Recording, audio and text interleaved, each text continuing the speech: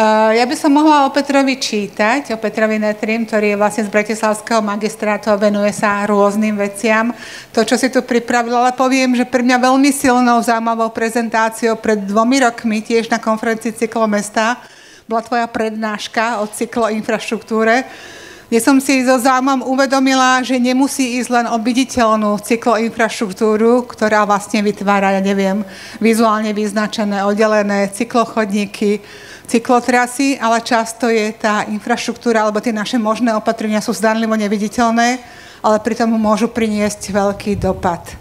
Takže nech sa páči, máš pred sebou pol hodinu, ja budem signalizovať, že, či prekračuješ alebo nie. A na záver samozrejme bude priestor na nejaké dve, tri otázky pre vás. Takže nech sa páči, floor is yours. Ďakujem pekne. Mám tu aj niekde ovládačku, alebo nie? Skúšame túto. Táto nie. Aha, dobre, dobre, dobre. OK, uh, takže moje meno je Peter Netri, um, pracujem pre mesto Bratislava uh, a, a môjim poslaním je vlastne uh, dať ľuďom viac možností, ako sa pohybovať udržateľne po meste. A táto prednáška bude vlastne zameraná na, na cyklistickú infraštruktúru. A, tak, pardon, takto a, a, a nejaké akože best practice, ktoré by sme mali dodržiavať. Na to, aby sa vlastne ľudia mohli, mohli pohybovať v meste, nie, akože nie, nie je možné iba navrhnúť akože pár čiar do územného plánu, hej? tak ako to napríklad sa podarilo v Bratislave pred nejakými 25 rokmi a schválilo sa to asi pred 15 rokmi. Je to, je to pár čiar, ale, ale uh, zďaleka nepokrývajú tie potreby, potreby ľudí. Ja som, ja som sa veľmi inšpiroval uh, takým, takou infografikou uh, dánskeho urbanistu a dizajnera uh, Mikaela Colville Andersena práve na túto tému dopravného plánovania, tak som pre vás pripravil také, také mapy. že toto je Bratislava, neviem, dúfam, že sú vidieť tie čiary.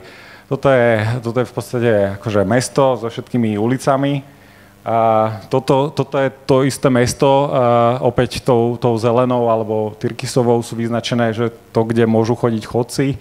A toto je to isté mesto, zase tam vyznačené zelenou, kde môžu chodiť auta.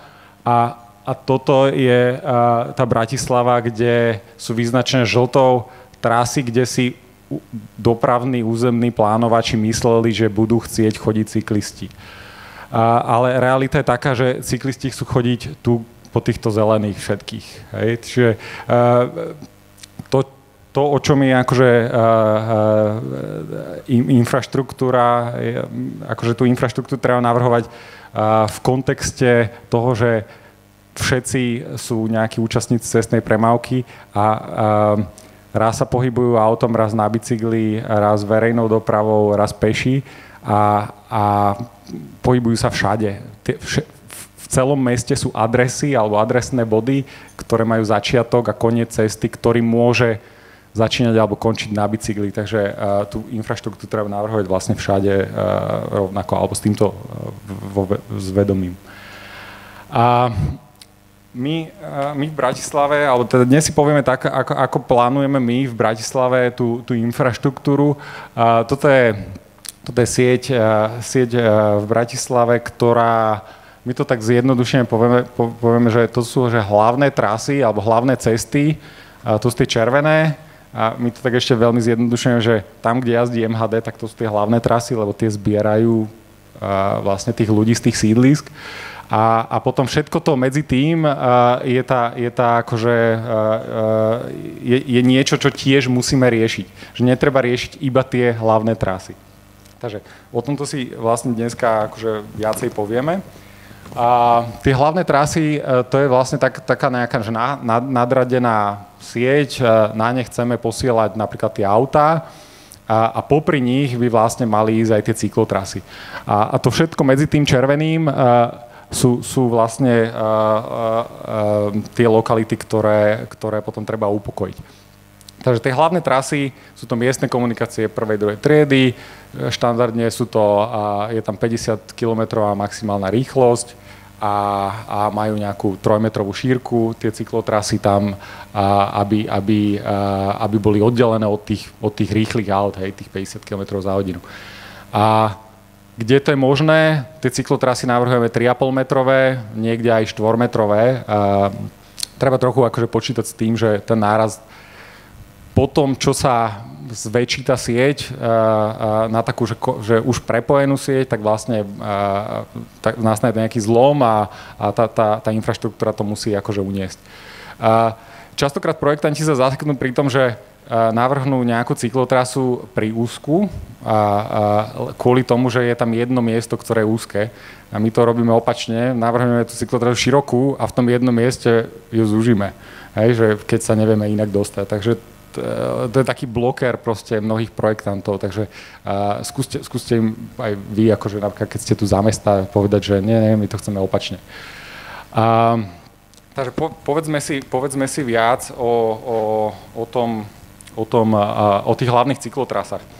To je taký, budeme hovoriť o štyroch vlastne typoch nejaké, nejakej infraštruktúry. To je, to prvé sú hlavné cyklotrasy. Uh, toto je taký akože typický nejaký príklad z, z Holandska, takže a nie sú tu nejaké, nie je to nejaké, že preznačkované, hej, že, že je to, že, že veľmi jasné, že kde, kde sa má kto pohybovať a, a je to veľmi, veľmi zrejmý, zrejmý dizajn a toto je aj obojsmerná trasa.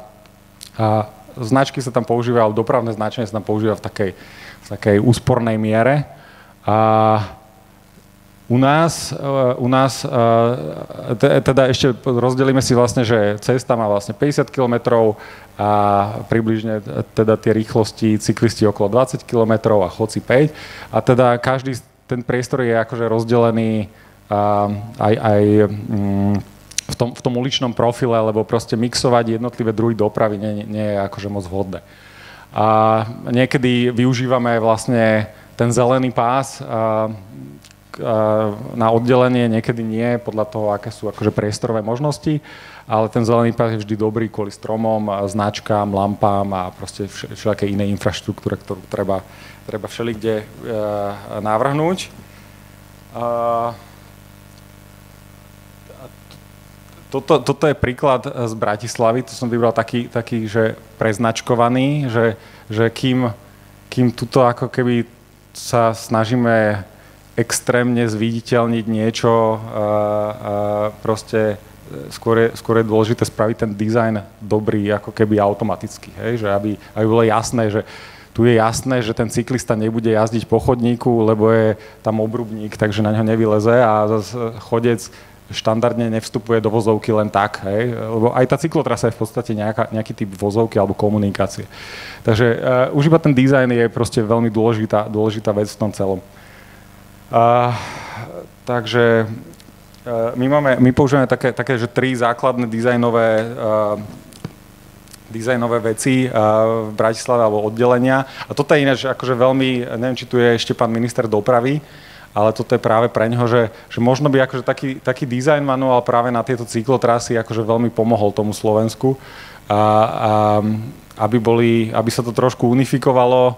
A, k tomu ešte, keby sa aktualizovali také aspoň dve normy, križovatky a, poz- a miestne, miestne cesty a, a, a nejaké dve tepečka, tak to akože by veľmi, veľmi pomohlo a to je nejaká agenda, ktorú má priamo teda ministerstvo dopravy e, v, vo svojej kompetencii a veľmi by to pomohlo tým mestám, a, aby sme aj predišli tým všelijakým akože divným, divným spôsobom z, e, robenia cyklotras.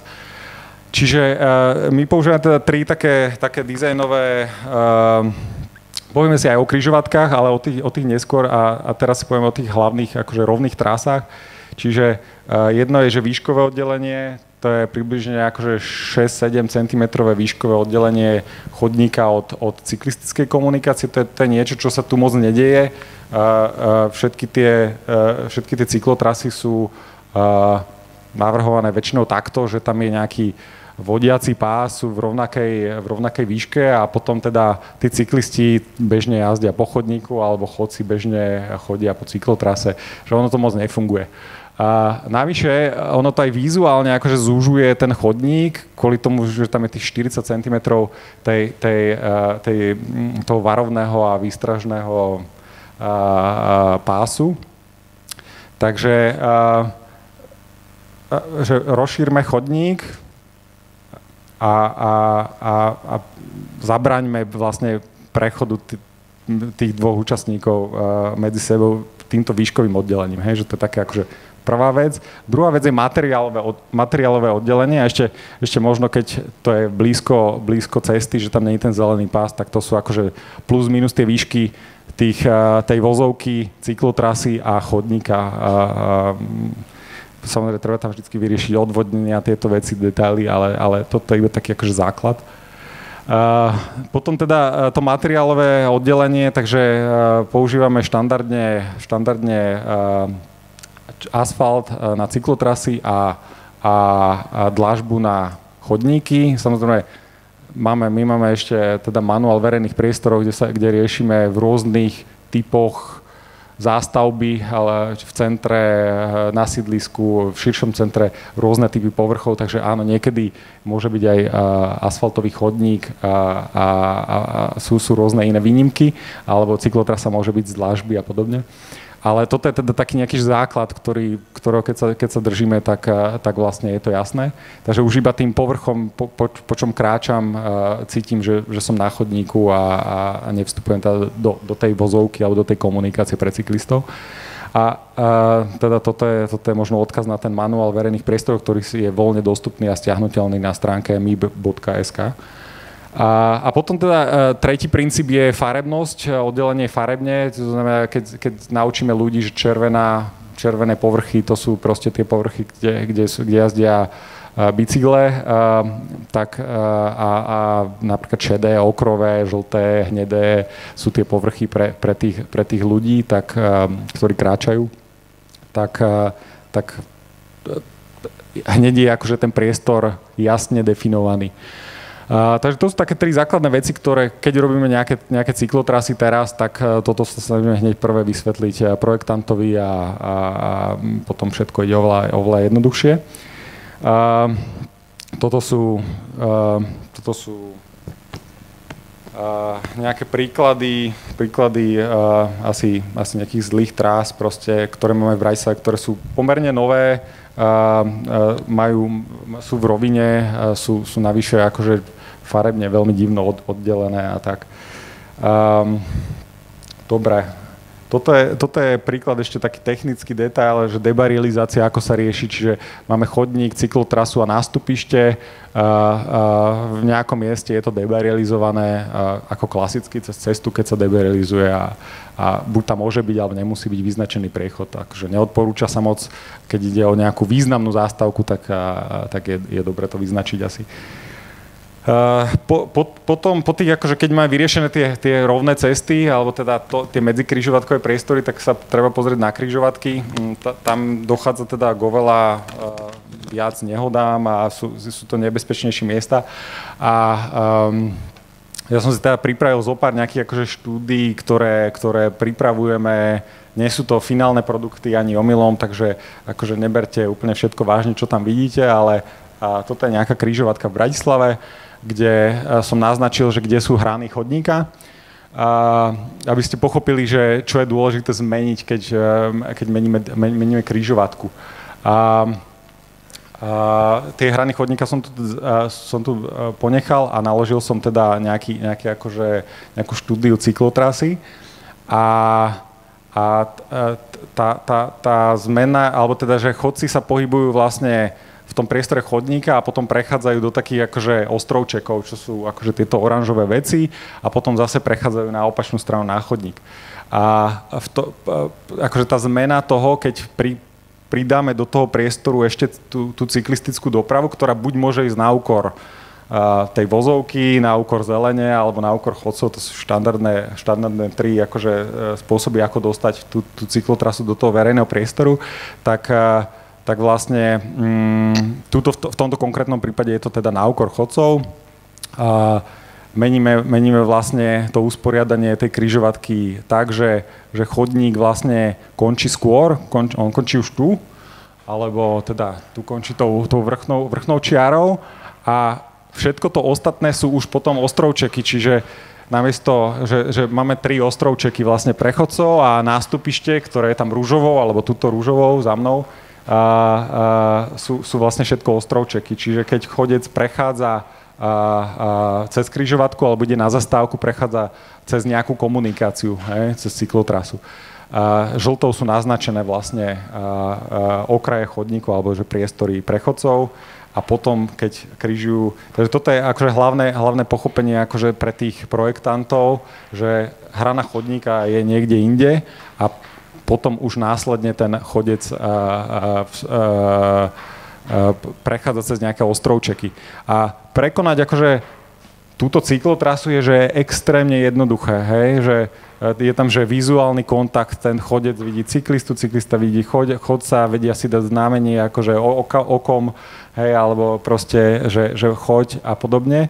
Takže to vôbec netreba akože riadiť, hej, že semafory ani nič také. Čiže je to veľmi jednoduché, je to krátke, lebo to má napríklad 2-3 metre, prekonať takú, takú cyklistickú komunikáciu, sú tam malé rýchlosti.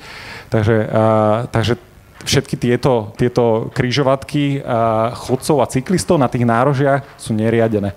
Uh, OK, potom sú, máme, máme ako keby, mm, toto je teda ten príklad toho nástupišťa, prípadne tuto, takže chodník, cyklotrasa, nástupište už v Ostrovčeku. Uh, toto je iný prípad križovatky, je veľmi špecifický a hneď si o tom povieme, kde, kde vlastne sa vyskytujú tzv. trojuholníkové ostrovčeky. Ja som ich tu vyznačil nech, nech vidíme, že kde je hrana, hrana chodníka a potom, že ako ten chodec vlastne sa musí, musí uh, teperiť cez tú krížovatku. V tejto krížovatke teda, napríklad, keď chcete prejsť cez jedno rameno, tak musíte prejsť cez, cez tri samostatné prechody, či už ako chodec alebo ako cyklista. Okay. A, a, a na každom musíte stať na semafore a podobne. Čiže trvá to akože pomerne dlho prejsť takú krížovatku. A um, tu si ako keby ten projektant, ktorý navrhoval tam ten, tie prechody pre cyklistov alebo ten prejazd pre cyklistov cez tú križovatku si akože veľmi zjednodušil tú svoju prácu, hej, že v podstate iba k priechodu prechodcov pridal cykloprechod, že takto sa akože, takto sa nenavrhujú proste cyklotrasy, hej, že to je, to, akože treba sa trošku komplexne zamyslieť, že že OK, že je tam dostatočný vyčkávací priestor. Vlastne na čo sú trojuholníkové ostrovčeky? Trojuholníkové ostrovčeky sú na to, aby púšťali auta odbočujúce vpravo eh, a, a zvyšovali priepustnosť pre, pre automobilovú dopravu cez tú krížovatku, ale my sa tu snažíme akože dostať ľudí na bicykle a potrebujeme možno zlepšiť priepustnosť pre, pre tie bicykle. Takže, takže akože, eh, keď, keď navrhujeme krížovatku, eh, tak takáto križovatka akože už nemôže byť v žiadnej našej norme. A opäť tu vyzývam pána ministra, ak tu ešte je, aby, aby križovatky s trojuholníkovými ostrovčekami z miest zmizli, lebo sú to naj, najmenej vhodný dizajn križovatiek, na, vlastne najviac šikanujúci cyklistov a, a pomerne dosť šikanujúci aj chodcov. A ten redesign, tu sú aj akože tu sú tie pôvodné ostrovčeky uh, vidieť, čiže všetky sa v, v nejakom návrhu rušia a, a pridávajú sa uh, vyčkávacie priestory na rohoch križovatky pre cyklistov, ktoré sú, ktoré sú kým tu je stopčiara pre, pre vozidla, tak stopčiara pre, pre cyklistov je tu. Uh, Takže proste ten priestor vyzerá úplne inak. Chodci aj cyklisti prechádzajú križovatkou na jeden krát, takže iba raz čakajú na, na tú červenú alebo teda na zelenú. A, takže, takže, sú tu také, také dôležité dve veci, a, že, keď to zosumarizujem, že zrušiť všetky trojuholníkové ostrovčeky v kryžovatkách, keď, keď, keď riešite kryžovatku, čo vždycky musíte riešiť pri každej cyklotrase a potom a, a, vnímať to, že tie hrany chodníkov sú teda po novom, v nejakom no, no, novom mieste a, a nie v tom pôvodnom a že potom tí chodci prechádzajú cez ostrovčeky. A ke, keď už sme akože sa rozhodli, že super, uh, ideme teda robiť tieto, tieto super, super trooper cyklotrasy po mestách, tak sme zistili, že, že ale že vlastne cyklista musí dávať prednosť pred, každou, pred každým jedným akože krížením cesty, aj vedľajšej, aj slepej, aj, aj takejto akože úplne bezvýznamnej komunikácie. Toto je náš eurofondový projekt bratislavský, ktorý sme zdedili a ako, ako tak sme sa ho snažili zachrániť a zlepšiť. Ale, ale tú prednosť, alebo teda tieto, tieto veci, že aj tak tu ten cyklista musí dávať prednosť pri výjazde hociakého vozidla, tak, tak to, sa, to sa v tom nedalo zmeniť. Preto sme sa spojili e, s, s kolegami z cyklokoalície a z, z nadácie Ecopolis a boli sme v Národnej rade vysvetliť e, aj poslancom, teda, že, že asi by sa malo niečo zmeniť. Ja som si vtedy pri, prichystal takéto rôzne aj obrázky, to iba tak narýchlo ukážem, že ako, ako to funguje tam. A, a, a možno a, a zajtra teda približne vo rovnakom čase, ako, ako teraz, a, a, budem mať v takom legislatívnom okienku veľmi dobrú prednášku pán, pán Martin Birnstein z Ministerstva dopravy, ktorý vám povie vlastne výsledok týchto snách, a, alebo možno aj ten príbeh, ako to, ako to teda vzniklo a, a, a ako, ako tá, sa tá legislatíva za posledné mesiace zmenila na to, aby sme mohli robiť fakt tie super trooper cyklotrasy, ktoré chceme. A potom teda, e, keď sme si hovorili o tých e, o, o, tých, o tých hlavných trasách, ktoré sme už vyriešili, aj tie, tie krížovatky, na tých hlavných trasách, tak teraz akože všetky tie biele zóny musíme vyriešiť a to sú tie upokojené, upokojené komunikácie. A, no, v podstate uh, dôležité je uh, uh, spraviť také opatrenia, aby, aby vlastne sa v tých komunikáciách dalo, dalo hýbať na bicykli. Hej? Že, tá infraštruktúra, že v tých sídliskách alebo štvrtiach proste netreba stavať samostatnú cyklistickú infraštruktúru. Bolo by to akože peňažne, bolo by to neekonomické. Čiže v tých sídliskách štvrtiach treba navrhnúť tzv. neviditeľnú cyklistickú infraštruktúru. Spraviť také opatrenia, kde nebude teda červený asfalt, toto je miesto, kde sa majú pohybovať cyklisti, ale tie existujúce komunikácie uh, uh, tak ukludniť, uh, tak zoptimalizovať, aby cez ne nebol vedený tranzit, aby aj lokálni obyvateľia sa, sa hýbali minimálne v tom, v tom priestore s tými aut, toho sídliska autami, um, aby sa zneatraktívnili tie, tie pohyby autami v týchto lokalitách a, a to jednak akože sú, sú také akože soft riešenia, čiže nejaké že zníženie rýchlosti, a, a regulácia parkovania, čiže upratanie parkovania nejakého chaotického, a zrušenie prednosti v jazde, čiže všetky križovatky sú prednosť práva, povolenie jazdy cyklistov v protismerkách, a, zmena zákazov vjazdu do, na, na zákazy vjazdu iba, iba pre motorové vozidlá a podobne vytváranie šikán. My, my akorát v Bratislave posledné mesiace zavádzame reguláciu parkovania, či platené parkovanie a tak. Je to, je to pomerne nové a vlastne všetky tieto nové, novoregulované zóny sa snažíme navrhovať podľa jedného takého design manuálu parkovacích zón, kde, kde úloha akože pre projektanta štandardná úloha pre projektanta je, že navrhnite, ako, ako parkovať v tejto zóne.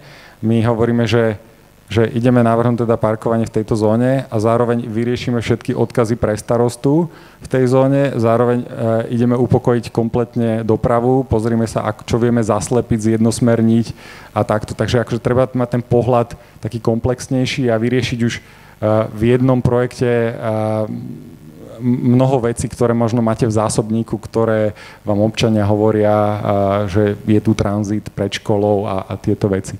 Takže používame napríklad tieto pravidlá, ako keby, že parkovanie na rôznych stranách vozovky, vytvára to šikany, vodič nevidí do diálky, je, e, ako, ako predtým videl, videl e, dlho do diálky, pridal plyn, lebo e, mal tú istotu, že je v pohode, takto vytvárame nejakú neistotu, ľudia, ľudia jazdia pomalšie, pridávame spomalovacie vankúše, ktoré sú friendly pre cyklistov, a, alebo teda pre ľudí na bicykloch, ako to zvyknem ja hovoriť, a, a, a, a zároveň proste vždycky postihujú tú jazdu motorovým vozidlom.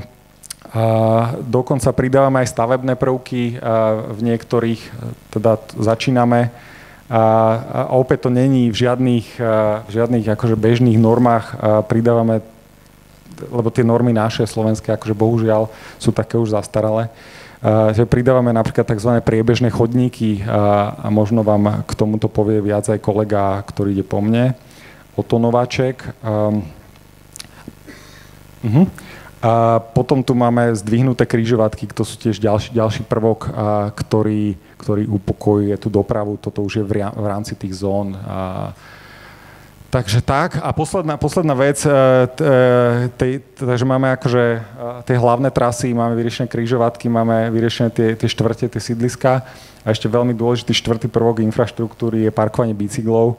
A k tomuto nemám akože moc, moc fotiek, akože mám tu zase náš manuál, manuál verejných priestorov, časť cyklostojany, ktorý je inak zadarmo na stiahnutie, kľudne ho môže používať aj vaše mesto, takže, takže inšpirujte sa a využívajte ho, ale v podstate akože dať stojany na bicykle v podstate všade, to je akože úplný základ. Pred každý jeden vchod bytového domu, pred každý úrad, pred každú školu, pred každý obchod.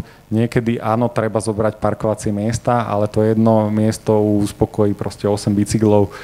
Takže, takže akože nebojte sa, um, ľudia to začnú používať. Hej? Ale všetky tieto štyri opatrenia, ktoré som alebo štyri prvky infraštruktúry, ktoré som spomínal, je potrebné zaviesť simultáne.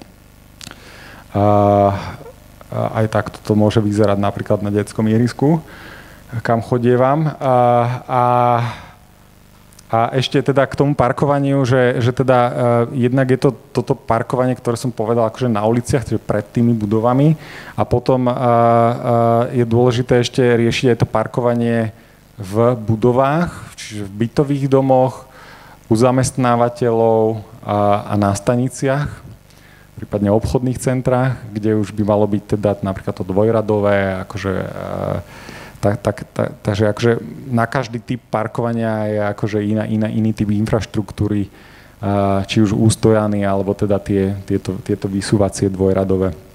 Takže to je asi to je asi všetko. Kalka, ak máme nejaké otázky, tak rád zodpoviem. Jasné. Ja začnem e, jednou otázkou odo mňa a potom bude priestor na dve, tri otázky z publika, takže poprosím potom Martina, aby si bol roznášačom mikrofónu. E, ďakujem pekne. Tuto je veľmi jasne povedané, exaktne, expertne vysvetlené, že aká infraštruktúra by mala byť. Ja sa ťa spýtam, keď si predstavíme tých, ktorí by tieto veci mali realizovať, čo sa musí stať preto, aby sa naozaj takto plánovalo? Hovoríme o slovenských obciach, mestách. Ja si, ja si myslím, že teda slovenské mesta a obce nemajú tú expertízu, že ako to robiť. Preto som aj teda v strede tej, v tej, tej prednášky spomenul, že akože vhodný dizajn manuál pre tie mesta a obce, ktoré by mohlo pripraviť ministerstvo dopravy, by bolo niečo super. My teda sme nečakali a tiež akože pripravujeme vlastný, vlastný dizajn manuál pre, pre Bratislavu, tak ako to robíme pre, pre rôzne iné veci od, e, od umiestnenia e, prístrežkov, e, košov, cyklostojanov, povrchov, chodníkov a podobne, takže možno sa bude dať aj tým časom inšpirovať. A takže toto je jedna vec, akože dať tie nástroje, e, sú, súvisí to aj s tou zmenou niektorých noriem, ktoré sú stále príliš proautomobilové. Takže toto, toto má všetko v rukách ministerstvo dopravy. A, takže to je taká jedna vec. A potom uh, určite tak uh, vzdelávanie tých projektantov. projektanti, bohužiaľ, akože ja sa stretávam s, s, s výstupmi od projektantov dopravných stavieb rôznych developerov alebo aj našich proste zazmluvnených a a, a tie výstupy sú, sú strašné, hej? Že, že oni v podstate riešia iba automobilovú dopravu a neriešia akože ten priestor komplexne, takže, takže e, aj nejaké vzdelávanie na, na univerzitách, zmena osnov e, by tomu akože veľmi pomohla. Prvý krok ktorý, z týchto všetkých by mal byť ktorý? Čím by si začal? Určite na to ministerstve dopravy by som začal, že, že tam, tam treba akože uh, jasne nastaviť, teraz, už teraz sa menia alebo aktualizujú niektoré normy a ide to, že veľmi zlým smerom, mm-hmm. čiže ako keby e, ideme konzervovať stav, ktorý tu máme proste od 70 rokov. Čiže akože toto treba že výrazne aktualizovať, to je úplne kompetencia na ministerstvo. Ďakujem pekne, takže poďme sa pozrieť do hľadiska, nech sa páči Petra, to má nejakú otázku. A, a ja len, e, kým sa dostaneš mikrofónu, poviem, že podobne ako včera či prečerom prezentovalo Ministerstvo kultúry stratégiu rozvoja kultúry, ktorá sa robila naozaj so zapojením miestnych stakeholderov, tak aj zmena noriem, zmena predpisov a veci by sa mohla udiať aj z iniciatívy Ministerstva dopravy so zapojením expertov, stakeholderov, samozpráv a všetkých tých, ktorí sa to týka. Prepač, Petri, hneď ti dáme ten priestor, to bol no, komentár. Áno, no, on, ono sa to deje, len uh, tí experti sú častokrát tí experti na tú automobilovú dopravu, ktorí to menia. Takže. Okay. Ďakujem pekne, takže nech sa páči. Uh, ďakujem Petra Marko, Marko Placemakers. Uh, ďakujem, ja, sa, uh, ja mám dve otázky, alebo možno, že suggestions, teda návrhy. Uh, jedna je k tomu poslednému bodu, čo si ukazoval, uh, kde si hovoril o, o parkovaní bicyklov v bytových domoch. Uh, toto je otázka, ktorú aktuálne riešim ja osobne, mimo, mimo práce. Um, a tá otázka je, že, že či mesto alebo MIP teda nejakým spôsobom plánuje uh, urobiť uh, nejaký program, cez ktorý by si uh, ľudia v bytových domoch, pretože vlastne vlastníci si to musia zrealizovať sami, ako keby ja napríklad som sa obratila na MIP s otázkou uh, uh, dodavateľa cyklostojanov a dostala som odpoveď, že pracujete len so Strabagom, čo je obrovská firma, čo mi nepríde namontovať 6-7 cyklostojanov. A nakoniec cez cyklokoalíciu som dospela k, uh, k nejakým solutions a vlastne ten, ten prvý problém je on the doorstep pre ľudí, ktorí ešte nebicyklujú treba s deťmi do školy alebo uh, denodenne do práce, že kde si ten bicykel zaparkovať a prídu na tú bariéru, že teraz musia riešiť všetkých vlastníkov v dome, že si musia tie cyklostény uh, obstarať, že musia si zohnať dodávateľa a bolo by, bolo by podľa mňa super, keby mesto prišlo s nejakou iniciatívou, ktorá by um, možno, možno aj nejak finančne čiastočne incentivizovala a dotovala uh, vlastne bytové domy, ktoré by chceli a mali záujem zrealizovať si cyklostojeny, že by aspoň pomohla s tým, že by bol, bol nejaký výber dodávateľov, ktorí by to vedeli rýchlo zrealizovať, že by sa uľahčil tento proces. A druhá otázka, alebo suggestion, um, teda otázka skôr je, uh, ukazoval si veľa príkladov tej fyzickej transformácie a technických problémov, ktoré sú úplne uh, dôležité riešiť a na tej dennodennej báze realizácie tej cykloinfraštruktúry. Uh, čo robí mesto ohľadom uh, tej zmeny tej kultúry toho vlastníctva auta alebo toho rozmýšľania ľudí? Mňa celkom šokovalo, že som napríklad zistila, že niektoré 6-7 ročné deti v Bratislave ešte nikdy nešli električkou, ktoré bývajú v rámci širšieho centra. No toto je úplne reálne skúsenosť z rozhovorov, ktoré som s ľuďmi, s ľuďmi mala. Takže uh, akým spôsobom napríklad uh, pristupuje uh, MIP uh, k um, zbieraní dát, pretože ľudia by možno reagovali na dáta, ktoré sú ohľadom znečistenia ovzdušia, ktoré zasahuje ich deti a zdravie ich detí napríklad v okolí základných škôl a viem, že MIP sa chýsta vlastne mapovať rôzne, rôzne dáta a Veľmi komplexné takže, otázky, takže Peter, skús v krátkosti zareagovať. Skús, skúsim, uh, akože dobrý nápad s tými stojanmi. Um, máme napríklad grantovú schému na kontajnerové stoiska, prečo by nemohla možno existovať aj podobná na, na cyklostojany. Hej. Uh, celkom zaujímavý nápad. A, a v mnohých napríklad novostavbách uh, uh, sa stretávam s tým, že, že nemajú vôbec vyriešené parkovanie bicyklov a, a už, do, už do nových, nových projektov dávame do záväzných stanovisk alebo do, pripomienkovania vlastne potrebu riešiť dlhodobé parkovanie. Vieme, že obyvateľia majú bicykle, a, a keď, som, keď som ja si riešil bývanie, a, tak mi developer povedal, že nech si ho parkujem na, na balkóne a ja, že ja chcem bal, balkón využívať na niečo iné. Takže tam nechcem si ho zapratať. Takže áno, je to veľmi dôležitá téma. A to a, dovzdelávanie alebo motivovanie rôznymi informáciami? A, a, a teda, čo sa týka ovplyvňovania možno takým tým, tým soft spôsobom, je, že Eh, teda jednak uh, máme nejaký plán hospodárskeho a sociálneho rozvoja, kde, kde sú akože tieto veci adresované a, a, a zatiaľ ako keby také, taká najúčinnejšia zbraň a, a ako keby proti používaniu automobilov je, sa javí a, a spoplatnenie parkovania, ktorú vlastne aktívne už 3, 3 roky vlastne, na ktorej pracujem vyše 3 roky, takže, takže to vyrieši nielen akože uprace trošku tie ulice, ale, aj, ale vyrieši to aj mnoho, mnoho jazd, ktoré sa nemusia zrealizovať vôbec, a, lebo vlastne tí, tí vodiči nebudú ochotní za, akože platiť za parkovné. Takže akože tak, tak to to sú také nejaké soft veci. Čo sa týka zberu dát, zber dát je vždy problematický. Neviem teraz za kolegov za MIB hovoriť, ale, ale téme, téme teda detí a ulic, detí v mestách a proste ulic uh, uh, sa, sa venujeme na hlavnom meste. Máme tu aj viceprimátorku Lenku Antalovu Plavuchov, ktorá má tú tému v gestii spolu teda s cyklodopravou. Ono to všetko spolu akože do seba zapadá a súvisí, takže, takže aj preto možno. A, takže adresujem aj túto tému a ešte pripravujeme vlastne všetky materiály a, a, a máme, máme nejaké pilotné projekty aj so školami, aj vlastne projekt priebežného chodníka, a, ktorý vlastne je, je nový prvok pomerne, a, ktorý bude nový prvok proste v, tej, v tom infraštruktúre alebo v tej stavebnej časti. Ďakujem Takže. pekne. Ty tu ešte si, takže keď bude treba, tak sa vlastne môžeš s Petrou Marko porozprávať. Jasné, a som, som tu aj, aj som ešte okay. niekde aj online, takže, okay. takže môžete aj, aj sa tak, ale budem dva dní, takže Dobre. Ja nevidím povedať. žiadnu ruku hore, to som nemala povedať. OK, veľmi krátko, poprosím krátku, potom nás čaká nás už ďalší rečník, nech sa páči. A pán minister a potom, e, sorry.